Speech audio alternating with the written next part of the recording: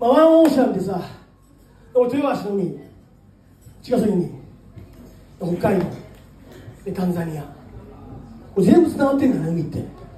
だからそういうねボーダーで最近で言うとインクルーシブ。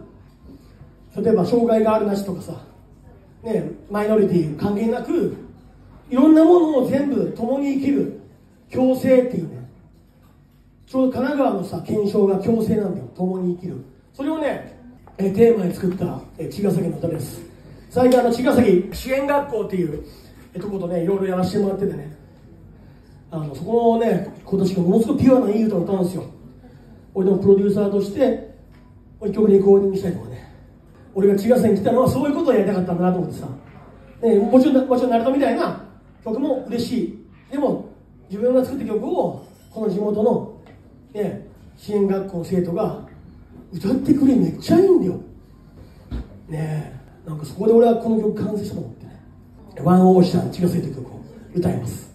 茅ヶ崎の浜にある謎の基地。えぼしは目の前に浮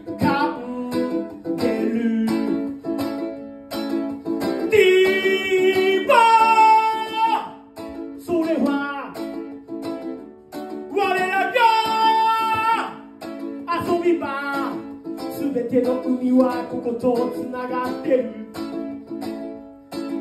すべての海は一つにつながってる。 One ocean, one music, one love 茅ヶ崎 One ocean, one music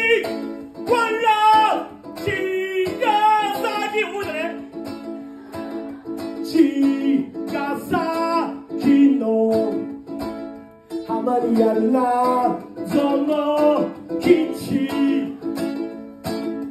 江ノ島と富士山が見つめ合う。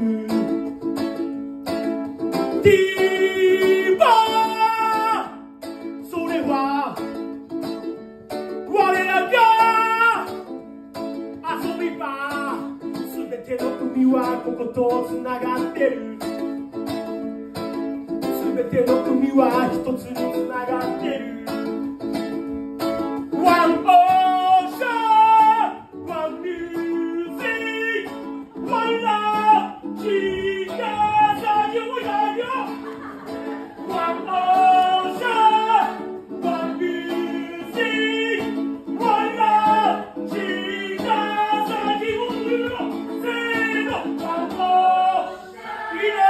Why two.